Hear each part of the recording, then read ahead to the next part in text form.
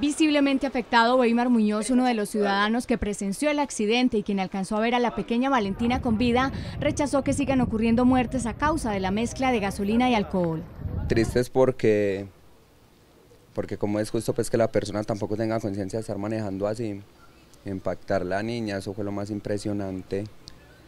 Y yo realmente no sé si estaban en el estado de embriaguez. Miguel Granados, de 53 años, quien es el padre de la menor muerta, permanece en la clínica del norte en delicado estado de salud producto de las múltiples fracturas y a la espera de varias cirugías. El accidente ocurrió en este puente de la quebrada La Valeria en el municipio de Caldas cuando los padres y su pequeña iban para misa. El dolor por lo ocurrido apenas empieza para esta familia.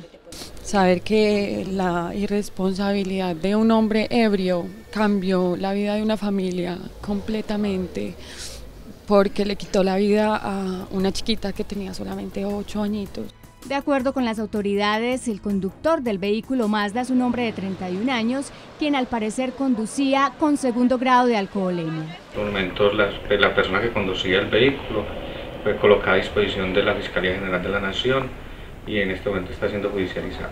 Según la ley colombiana, para el segundo grado de alcoholemia se contemplan sanciones como la suspensión de la licencia entre 3 y 5 años, inmovilización del vehículo y una multa de 45 salarios mínimos legales vigentes.